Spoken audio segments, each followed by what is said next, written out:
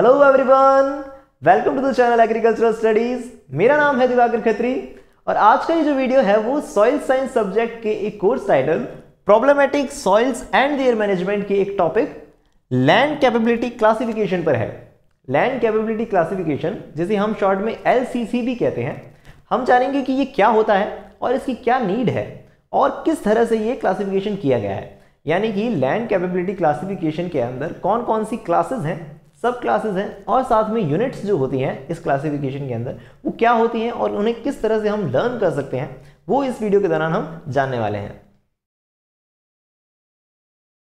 तो चलिए अब हम अपने टॉपिक को स्टार्ट करते हैं, जो कि है लैंड कैपेबिलिटी क्लासिफिकेशन है ना? तो यहाँ एक वर्ड यूज़ कर रहे हैं हम कैपेबिलिटी कैपेबिलिटी वर्ड का क्या मतलब होता है? पहले ये जानते हैं कि it is an inherent capacity of land inherent word का मतलब इनहेरेंट मतलब कि उसके अंदर की ही प्रॉपर्टी है लैंड के अंदर ये प्रॉपर्टी या ये कैपेसिटी ऑलरेडी अवेलेबल है। ना तो इनहेरेंट कैपेसिटी है of land to perform at a given level for a general use कि किसी जनरल यूज़ के लिए हम उसे किस लेवल तक काम में ले सकते हैं, उसकी जो कैपेसिटी है, उसे हम क्या कह रहे हैं? कैपेबिलिटी ओके तो अब इस कैपेबिलिटी के बेसिस पे जो लैंड का क्लासिफिकेशन किया जा रहा है, उसी को हम क्या कह रहे हैं? लैंड कैपेबिलिटी क्लासिफिकेशन कह रहे हैं। तो इसकी डेफिनेशन क्या कही जा सकती है?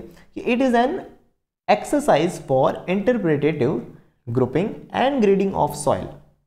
It is an exercise for interpretative grouping interpretative grouping मतलब इस तरह से ग्रुपिंग की जाए जो कि हमें इंफॉर्मेशन प्रोवाइड कराए कोई, है ना? एंड ग्रेडिंग फॉर सॉइल कि भाई किस ग्रेडिंग की सॉइल है? अच्छी सॉइल है, बुरी सॉइल है? इस तरह से ग्रेडिंग की जाए उसकी सॉइल की according to their potentialities and limitations कि उसका कितना पोटेंशियल है, कितना पोटेंशियल या कह सकते हैं कैपेबिलिटी है according to their potentialities and limitation और किस हद तक, क्या लिमिट्स हैं उसकी जहाँ तक उसे यूज़ किया जा सकता है। तो ये क्लासिफिकेशन जो होता है, उसे हम कहते हैं लैंड कैपेबिलिटी क्लासिफिकेशन या शॉर्ट में कहें तो हम एलसीसी ठीक है? क्यों करते हैं आप ये? तो देखिए it gives information of productivity of land मतलब अलग अलग लैंड्स की प्रोडक्टिविटी की इंफॉर्मेशन मिल जाएगी हमें से।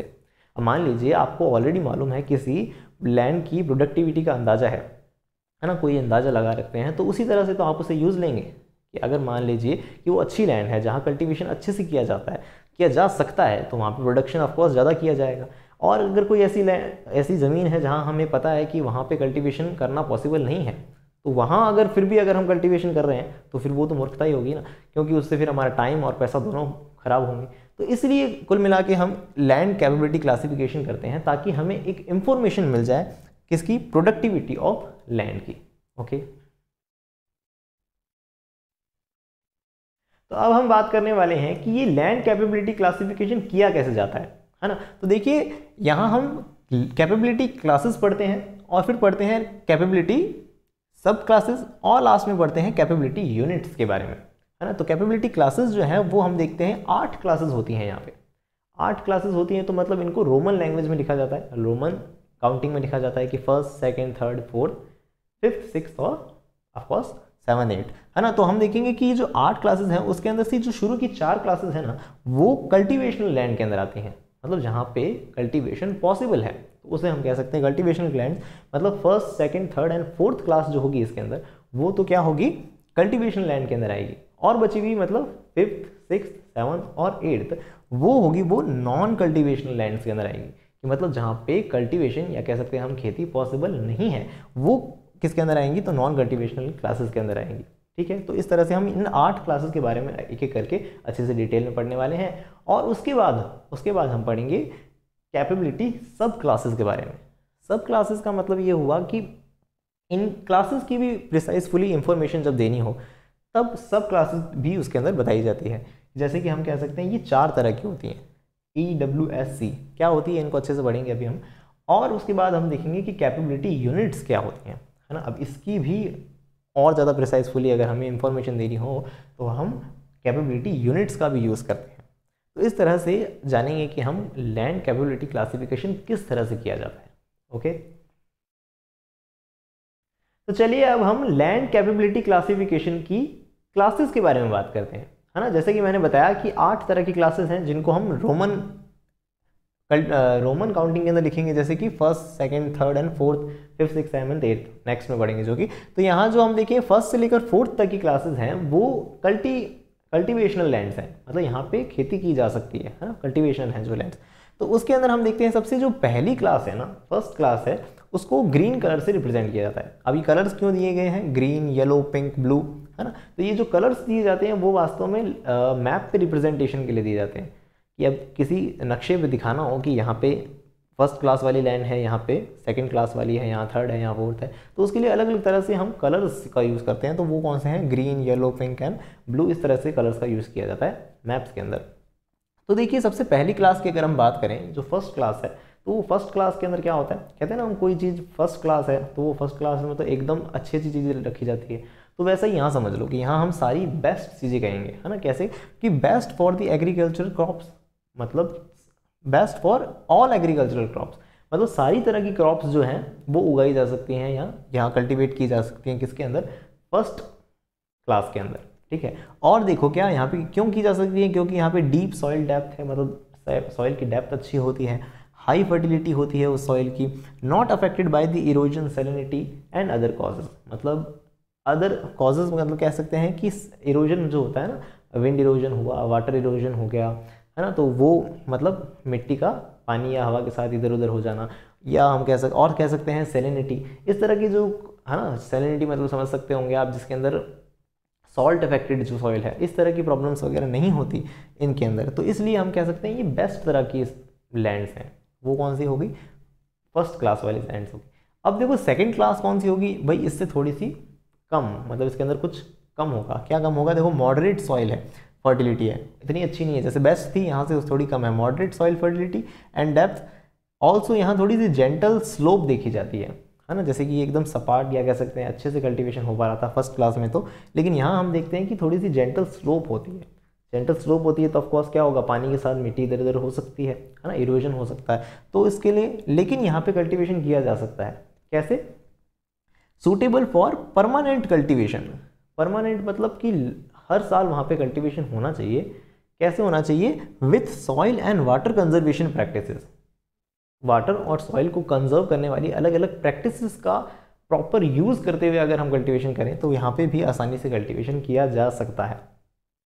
तो इस तरह की जो क्लास है, उसे हम सेकेंड क्लास कह रहे हैं। ठीक है? अब देखो, जो थर्ड क्लास होगी ना, है ना तो वो थर्ड क्लास के अंदर हम क्या कह सकते हैं? इसको पिंक कलर से रिप्रेजेंट कर रहे हैं। और क्या है? वेरियस कंजर्वेशन है। ये कंजर्व लिख रखा है। Conservation measures are use such as मतलब अलग अलग तरह की कंजर्वेशन मेजर्स हम यहाँ पे काम ले लें। अलग अलग तरह के कंजर्वेशन मेथड्स जो हैं, वो और ज़्यादा अप्लाई करने पड़ते हैं हमें यहाँ पे। क्यों? क्योंकि हम देखते हैं यहाँ पे जो स्लोप है, वो और ज़्यादा होगी। स्टीप हम कह सकते हैं कि स्लोप्स होती हैं। है ना? तो वहाँ पे क्या होता है? पानी टिकता नहीं है। तो इसलिए हम कह सकते हैं यहाँ पे कंटोर बंड्स होते हैं। कंटोर बंड्स के बारे में आप जानते होंगे कि पहाड़ी इलाकों वगैरह पे इस तरह से बंड्स वगैरह बनाए जाते हैं ताकि वहाँ पानी रुक सके और आसानी से कल्टीवेशन हो सके। है ना तो कंटोर बंड्स हो गए क्रेडिट बंड्स हो गए और इस तरह की अलग अलग प्रैक्टिस का जहाँ ज़्यादा यूज़ किया जाता है कल्टिवेशन के लिए तो वो जो क्लास है, वो कौन सी होगी? तो वो थर्ड क्लास के अंदर आ रही है। ठीक है? और एट लास्ट फोर्थ क्या होगी क्लास देखो, अभी अब तक हम क्या समझ रहे हैं कि फ़र्स्ट क्लास सबसे बढ़िया थी तो फोर्थ क्लास कल्टीवेशनल लैंड्स के अंदर सबसे बुरी होनी चाहिए मतलब उसके अंदर सबसे कम कैपेसिटी होनी चाहिए कल्टीवेशन की है ना? तो कह सकते हैं हम ओनली फॉर दी ओकेजनल और लिमिटेड कल्टीवेशन कभी कभार ओकेजनली कल्टीवेशन करा जाएगा वहाँ पे तो हो सकता है वहाँ पे पॉसिबल हो लेकिन यहाँ क्या है कल्टीवेशन बहुत लिमिटेड है बड़ा मुश्किल से किया जाएगा कल्टीवेशन है ना? Because of low soil depth जैसे हम फ़र्स्ट क्लास के अंदर कह रहे थे सबसे बेस्ट है आ, सारी सॉइल डेप्थ वगैरह, है ना? तो यहाँ क्या हो जाएगी? लो सॉइल डेप्थ होगी स्लोप बहुत क्या हो जाएगी? कम होगी मतलब ज़्यादा होगी इरोजन बहुत होगा और ड्रेनेज की प्रॉब्लम्स होगी। तो इस तरह की अलग अलग प्रॉब्लम्स की वजह से हम देखते हैं कि क्या होगी कि यहाँ जो फोर्थ क्लास है, वहाँ पे अच्छे से कल्टीवेशन नहीं हो पाएगा। ठीक है तो समझ आ गई होंगी आपको कि कल्टीवेशन की कल्टिवेशनल लैंड्स की हम चार क्लासेस देखते हैं फ़र्स्ट टू फोर्थ ओके तो इस तरह से आप अब तक समझ चुके होंगे कि जैसे जैसे हम आगे क्लासेस को आगे समझते जा रहे हैं, जैसे कि first class second class third class and fourth class तब हम देख रहे हैं कि उनकी लिमिटेशंस जो है वो लगातार बढ़ती जा रही हैं।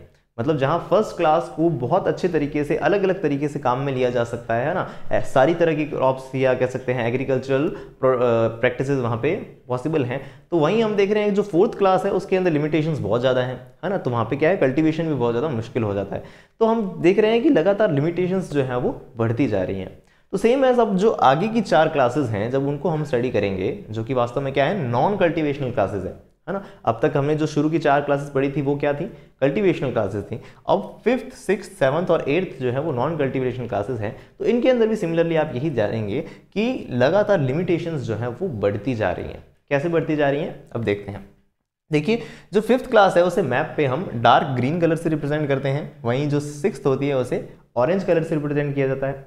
सेवन्थ जो होती है, उसे ब्राउन कलर से, और वहीं हम देखें एट्थ क्लास जो होती है उसे पर्पल या हम कह सकते हैं कि वॉयलेट कलर जो होता है, उससे रिप्रेजेंट करते हैं, ठीक है? अब देखिए फिफ्थ क्लास के बारे में बात करते हैं। जो फिफ्थ क्लास है, वो limitations are impractical to remove मतलब यहाँ जो लैंड की लिमिटेशंस हैं, वो इम्प्रैक्टिकल है रिमूव करने के लिए। मान लीजिए कौन सी प्रॉब्लम्स तो देख लीजिए, ऐसा मान लीजिए कि कोई ज़मीन है, वहाँ पे बहुत ज़्यादा स्टोनी है या वेट लैंड है। मतलब इतनी ज़्यादा स्टोनी लैंड है कि वहाँ पे उसको सुधार करना प्रैक्टिकली पॉसिबल नहीं है। या पॉसिबल है भी तो कोई फ़ायदेमंद वाली बात नहीं है। है ना? जैसे कि मान लीजिए कि हमें ऑलरेडी मालूम है कि फिफ्थ क्लास की प्रोडक्टिविटी ज़्यादा अच्छी नहीं है। है ना? और फिर भी हम ये कोशिश कर रहे हैं कि उसके अंदर से उसकी जो प्रॉब्लम्स हैं, मान लीजिए स्टोन्स वगैरह को हटा देना या वेटलैंड है तो उसकी सोल्यूशन कर देना तो उससे भी हमारे को कुछ प्रोडक्टिविटी तो अच्छी मिलेगी नहीं। तो फिर उसको, ये सब तो फिर क्या हुआ अपने टाइम की बर्बादी हुई। तो उसका मतलब ये हुआ कि यहाँ इम्प्रैक्टिकल है टू रिमूव देयर लिमिटेशंस यहाँ जो लिमिटेशंस हैं उसको प्रैक्टिकली रिमूव करना पॉसिबल नहीं है। इसलिए हम इसको कहाँ यूज़ करते हैं फिर? तो देखिए there that their use is mainly to pasture forest land और दी वाइल्ड लाइफ फ़ूड इसलिए हम इसको अब कहाँ यूज़ करते हैं? तो हम देखते हैं कि जो पास्चर है, यानी कि जो एनिमल्स वगैरह होते हैं, उसको चराने के लिए, है ना? तो उससे उसके लिए चारावाह कह सकते हैं तो उसके लिए काम में ले सकते हैं। फॉरेस्ट लैंड होगी कि जंगल है बहुत बड़ा, है ना? तो वहाँ पे जो उसका प्रोडक्शन मिल सकता है, जैसे कि वुड्स वगैरह होगी इंडस्ट्री के अंदर लकड़ी वगैरह चाहिए होती हैं तो उस तरह से फॉरेस्ट्री का जो प्रोडक्शन हमें चाहिए तो उस तरह से उसको काम में लिया जा सकता है। वाइल्ड लाइफ फ़ूड वगैरह हमें चाहिए तो वो हम इसे ले सकते हैं। लेकिन जो मेन कल्टीवेशन था, अलग से क्रॉप लगाना वगैरह, वो यहाँ पॉसिबल नहीं हो पाता। क्यों? क्योंकि तो सारी क्लासेस ही कौन सी हैं? नॉन कल्टीवेशनल क्लासेस है ना? तो अब देखिए सिक्स क्लास के बारे में अगर हम बात करें तो वहाँ क्या है? यहाँ लिमिटेशन थोड़ी ऑफकोर्स और बढ़ जाएँगी। क्या बढ़ेंगी? कि दीज आर शैलो सॉइल्स मतलब यहाँ जो मिट्टी है, वो शैलो होगी। शैलो मतलब कैसे? कि मतलब छिछली हिंदी में बोलते हैं ना, मिट्टी, ज़्यादा अच्छी मिट्टी नहीं हो सकती। तो उस तरह से हम कह सकते हैं कि ऑन स्टीप स्लोप स्लोप भी बहुत थोड़ी सी यहाँ ज़्यादा होगी as compared to class fifth, है ना? तो यहाँ मतलब मुश्किलें और बढ़ रही हैं, है ना? कैसे बढ़ रही हैं? तो वो भी किसमें भी मुश्किलें बढ़ रही हैं? तो हम देख रहे हैं कि जहाँ हम पास्चर लैंड जो थी, उसमें पास्चर वगैरह करना या ग्रेजिंग और फॉरेस्ट्री करना भी थोड़ा और मुश्किल हो रहा है यहाँ पे, है ना? लिमिटेशन थोड़ी और बढ़ रही हैं। एक खास बात हम देखते हैं कि grazing should be regulated to prevent the damage of the plant cover मतलब यहाँ हम ऐसा नहीं है कि अपने एनिमल्स को छोड़ देंगे तो जितना चरना है, चरते रहो, भले कोई दिक्कत नहीं। लेकिन ऐसा नहीं कर सकते हम। तो मतलब यहाँ ग्रेजिंग भी क्या होनी चाहिए? रेगुलेटेड होनी चाहिए लिमिटेड ही होनी चाहिए। ऐसा ना हो कि पूरा वेजिटेशन ही जो है वहाँ लैंड का, वो लैंड कवर ही हट जाए वहाँ पर है ना? सारी सब कुछ खत्म हो जाए। तो prevent the damage of plant cover plant का जो कवर है, वो एकदम खत्म नहीं होना चाहिए। तो समझ आई? तो इस तरह से हम कह सकते हैं क्लास सिक्स के बारे में। अब देखिए, अब सेवन्थ क्लास के बारे में। तो ये जो सेवन्थ क्लास है उसे मैप पे ब्राउन कलर से रिप्रेजेंट किया जाता है और ये हम देखते हैं स्टीप रफ इरोडेड लैंड है। मतलब स्टीप बहुत ज़्यादा क्या होगी यहाँ पे? स्लोप और ज़्यादा हो जाएगी रफ लैंड होगी एकदम है ना? मतलब वहाँ पे क्या नहीं हो सकता। आ, कह सकते हैं ग्रेजिंग वगैरह जो है वो भी क्या हो सकता है क्या है? पॉसिबल नहीं हो पाएगी है ना? तो अब देखिए आगे with shallow soil also include droughty swampy land मतलब यहाँ पे ड्रॉ ड्रॉट आना स्वैम्प आना मतलब इन सब चीज़ों की भी हम क्या कहते हैं, दिखते देखते हैं। मतलब कह सकते हैं ना कि ड्रॉट आप मतलब समझते हैं, सूखा वगैरह जो होता है तो वो ज़्यादा प्रॉब्लम्स देखी जाती हैं। वो भी प्रॉब्लम्स आती हैं। तो मतलब severe risk to damage even when use for pasture and forestry मतलब पास्चर और फॉरेस्ट्री करना भी यहाँ पे क्या है पॉसिबल नहीं है। मतलब इतना ज़्यादा सीवियर रिस्क है। क्यों? क्योंकि यहाँ पे ड्रॉट स्वैम्प इस तरह की कुछ दिक्कतें भी आ जाती हैं। तो समझ आ रहा है? मतलब और लिमिटेशंस बढ़ गई हैं किसके अंदर क्लास सेवन्थ के अंदर। और एट्थ के अंदर आप समझ ही चुके होंगे कि भाई एकदम ही ख़राब लैंड होगी। है ना? यहाँ इससे बुरा तो कुछ हो ही नहीं सकता। क्या? जैसे कि very rough land not suitable even for the woodland और ग्रेजिंग मतलब यहाँ तो बिल्कुल ही हम क्या रहेंगे ग्रेजिंग वगैरह नहीं कर सकते। लेकिन यहाँ अगर देखें, यहाँ कुछ अगर हम मैनेजमेंट्स वगैरह लगा रहे हैं, कुछ लिमिटेड टाइम तक फॉरेस्टर पास्चर और फॉरेस्ट्री में काम ले सकते हैं, लेकिन यहाँ तो बिल्कुल ही नहीं ले सकते। है ना? रिज़र्व फॉर वेस्ट रिक्रिएशन और वेस्ट लैंड कंसिडरेशन या तो इसे कंसिडर कर दिया जाता है कि ये वेस्ट लैंड है, यहाँ पे कचरा डाल सकते हैं या फिर कह सकते हैं जो वेस्ट प्रोडक्ट का मैनेजमेंट होता है, उसके लिए काम में ले सकते हैं उसको, या हम कह सकते हैं कि इसको रिक्रिएशन के लिए छोड़ दिया जाता है कि भाई कुछ टाइम बाद, कुछ सालों तक ये लैंड अगर पड़ी रहती है तो हो सकता है ये फर्टाइल हो जाए या एनवायरमेंटल कंडीशन के साथ वापस रिक्रिएट हो जाए मतलब थोड़ी ढंग की हो जाए। तो इस तरह से हम कह सकते हैं कि हमने ये फिफ्थ सिक्स सेवन्थ और एट्थ क्लास के बारे में जाना जो कि नॉन कल्टिवेशनल है, यहाँ कल्टिवेशन पॉसिबल नहीं होता तो हम इसको पास्चर और हम देखते हैं मेन फॉरेस्ट्री के लिए काम में लेते हैं। ठीक है? तो इस तरह से हमने अब तक लैंड कैपेबिलिटी क्लासिफिकेशन का एक कंपोनेंट कंप्लीट कर लिया, जो कि था कैपेबिलिटी क्लासेस अब अपन पढ़ते हैं कि कैपेबिलिटी सब क्लासेस क्या होती हैं। देखिए सब क्लासेस जो हैं, वो वास्तव में क्या है? और प्रिसाइसफुली इंफॉर्मेशन देने के लिए बनाई है। जैसे कि मान लीजिए थर्ड क्लास है कोई, उसके अंदर, उसके आगे हम कुछ एक पर्टिकुलर अल्फ़ाबेट लगा देते हैं, जैसे कि ई डब्ल्यू एस या सी ई डब्ल्यू एस सी क्या होता है? अभी बात करते हैं। लेकिन मान लीजिए वो अल्फ़ाबेट अगर हमने उस रोमन लैंग्वेज के साथ में लगा रखा है तो वो और उसकी इंफॉर्मेशन देगा। किसकी इंफॉर्मेशन देगा? जैसे कि on the basis of type of problem और हिजार्ड मतलब कि किसी पर्टिकुलर लैंड के अंदर मेन प्रॉब्लम क्या है? मेन बड़ी क्लास तो बता दी, लेकिन उस क्लास के अंदर भी मेन पर्टिकुलर प्रॉब्लम क्या है? उसके बारे में अगर हम इंफॉर्मेशन देना चाहते हैं तो वो सब क्लासेस के थ्रू दी जाती है। ठीक है? तो जैसे कि देखिए, अगर उसके आगे ई e लगाया गया है तो ई e का मतलब क्या होगा? वहाँ पे इरोजन की प्रॉब्लम है। मतलब उस लैंड के अंदर विंड इरोजन कह देते हैं हम, या वाटर इरोजन जो होता है है ना? इरोजन मतलब आप समझ सकते हैं कि सॉइल का पानी या कह सकते हैं कि हवा की वजह से डिस्टर्ब हो जाना है ना? तो उसका स्ट्रक्चर डिस्टर्ब हो जाता है या गुलीज वगैरह बन जाती हैं है ना? इरोजन के अलग अलग टाइप्स होते हैं। तो उस उस वजह से मेन वहाँ पे प्रॉब्लम वो हज़ार्ड वहाँ पे उसकी है। तो उसको हम ये रिप्रेजेंट करेगा वहाँ पे ई e, है ना? और अगर देखिए वहाँ अगर डब्लू लिखते हैं हम तो डब्लू का मतलब होगा वहाँ वाटर लॉगिंग की प्रॉब्लम है। वाटर लॉगिंग मतलब पानी जो है वहाँ पर ठहर जाता है वहाँ ड्रेनेज अच्छा नहीं है वहाँ वेटनेस ज़्यादा है। उसके हम देखते हैं सॉइल की ह्यूमिडिटी बहुत ज़्यादा हो रखी है। है ना? वहाँ पे एरिएशन अच्छा नहीं है। कह सकते हैं कि भाई पानी इतना ज़्यादा भरा हुआ है तो ऑक्सीजन ही नहीं मिल पा रही प्लांट को। है ना? तो इस कह सकते हैं, इस तरह से हम कह सकते हैं कि वाटर लॉगिंग की प्रॉब्लम को रिप्रेजेंट करना हो तो हम उसे डब्ल्यू से रिप्रेजेंट करते हैं। वहीं अगर हम कहें एस है ना? ई डब्ल्यू एस एस पे आ चुके हैं हम। तो एस जो है वो क्या है? Soil related root zonal hazards root zonal hazards मतलब क्या हुआ कि रूट जोन जो होता है पौधे का, वहाँ पे अगर मान लीजिए ज़्यादा स्टोन्स हैं सेलिनिटी ज़्यादा है, या हम कह सकते हैं कि वहाँ वेटनेस ज़्यादा हो रही है, या कुल मिला के रूट जोन की पर्टिकुलर प्रॉब्लम को अगर दिखाना चाहते हैं हम, है ना? या मान लीजिए एसिड जोन हो रखा है वो, या ज़्यादा एल्कलाइन हो रहा है तो उस तरह की प्रॉब्लम को रूट जोनल हजार्ड्स को दिखाने के लिए हम उसके आगे एस को यूज़ करते हैं एस सब क्लास को यूज़ करते हैं। वहीं अगर हम कहें सी तो वो रिलेटेड होता है क्लाइमेट से। सी फॉर क्लाइमेट है ना? तो क्लाइमेट का क्या मतलब हुआ कि मान लीजिए कि एनवायरनमेंट का टेम्परेचर कुछ ज़्यादा हो रहा है, कम हो रहा है, या कह सकते हैं एटमोस्फेरिक ह्यूमिडिटी प्रेशर है ना? और जो रेनफॉल प्रेसिपिटेशन ये सब फिनोमिना जो हम पढ़ते हैं, वो सारे उसको डिस्टर्ब कर रहे हैं प्लांट की ग्रोथ को, या कह सकते हैं उस लैंड को इफ़ेक्ट कर रहे हैं, उस पर्टिकुलर लैंड पर डिपेंडेंट है जो चीज़ें। तो वो चीज़ें जो है वो किसमें आती हैं? क्लाइमेटिक हिजार्ड्स के अंदर आती हैं। ठीक है? तो सब क्लासेस आपको अब तक समझ आ चुकी होंगी कि सब क्लासेस क्या होती हैं? E W S C E W S C E W S C के अंदर erosion water logging soil related hazards S for soil related है, और लास्ट में सी जो है वो क्लाइमेटिक हजार्ड से रिलेटेड है। हजार्ड मतलब एक तरह की प्रॉब्लम है आप समझ सकते होंगे, जानते होंगे इस बारे में तो। लेकिन अब देखिए लास्ट जो एलिमेंट है लैंड कैपेबिलिटी क्लासिफिकेशन का वो है कैपेबिलिटी यूनिट्स यूनिट्स का क्या मतलब हुआ? कि भाई अब इनके अंदर भी प्रिसाइजफुली इंफॉर्मेशन देनी है तो यूनिट्स का इस्तेमाल करो। देखो, इसको आप समझिए कि these are depending upon the management practices management practices मतलब कि किस तरह से मैनेज किया जाना चाहिए उसको। उसकी प्रिसाइजफुल इंफॉर्मेशन देना चाहे प्रिसाइजफुल मतलब पर्टिकुलर स्पेशल इंफॉर्मेशन देना चाहे तो उसके लिए हम कौन से यूज़ करते हैं? कैपेबिलिटी यूनिट्स को यूज़ करते हैं। ठीक है? अब कैपेबिलिटी यूनिट्स भी कैसे हम देख सकते हैं? या तो वन होगी या टू होगी। इस तरह से एक दो यूनिट्स बताई जाती हैं। यहाँ मैंने एग्ज़ाम्पल लिया है। एग्ज़ाम्पल से आपको अच्छे से समझ आएगा। मान लीजिए कहीं लिखा है थर्ड एस थर्ड एस का मतलब थर्ड क्लास है। लैंड की क्लास कौन सी है? थर्ड क्लास है। एस मतलब क्या है? सॉइल रिलेटेड रूट जोनल कोई प्रॉब्लम है वहाँ पे। ठीक है? रूट जोनल प्रॉब्लम है। अब रूट जोनल प्रॉब्लम कौन सी है? अगर इतनी सी बात से तो कोई सामने वाला नहीं समझेगा ना कि थर्ड जोन है, लेकिन थर्ड क्लास वाली है रूट जोनल प्रॉब्लम है, लेकिन कौन सी रूट जोनल प्रॉब्लम है?